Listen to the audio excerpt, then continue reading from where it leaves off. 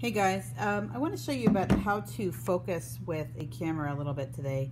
Um, first thing that I might have mentioned before, but maybe not, and it depends on your camera model. This is a D3100 that I'm showing you right now, and I brought out a D40 because it does, this part does look a little bit different on these different cameras. I believe the D3200 and 3300s look like the 3100 is this thing. It's called the diopter. It looks like this, and the idea behind this is that it's supposed to be adjusted. Um, you know, when you look through anything, if, if you have glasses on, maybe you want to take your glasses off and, and look through and, and, and essentially use this as an eyeglass for you. But because so many of us are sharing the camera, um, what I generally ask is that students set this to like 20/20 vision and then wear their glasses. Um, so every single time I ask a student to grab a camera, always check to make sure diopter is adjusted. Um, on this camera, the diopter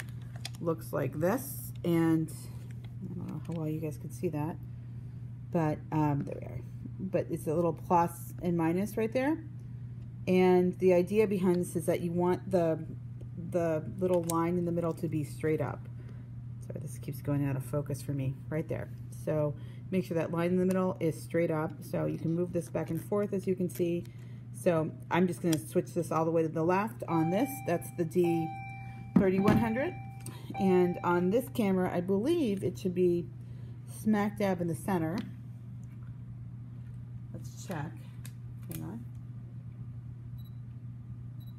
Because if it's not, then what's gonna end up happening is, oh, actually, you know what? It's not. It's um, slide it all the way down to the bottom. So see how you can slide up or slide down, slide it down to the bottom. Otherwise, it'll look like your images are out of focus when you're taking a picture. Um, so other things you're gonna need to do, remember um, these cameras that we have, the kit lenses come with an auto or manual focus. For the assignment we're gonna be working on today, you're gonna be using manual focus. So manual is, again, this selection right here. Um, with manual, you can use the focusing ring, which is right here.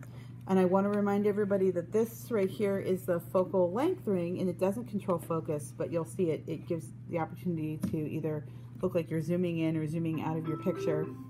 So again, set your camera to manual. Um, if you did have it on autofocus, you actually would um, not ever turn this because you could damage the camera. So don't adjust the focusing ring. And that is how you adjust the diopter on these cameras.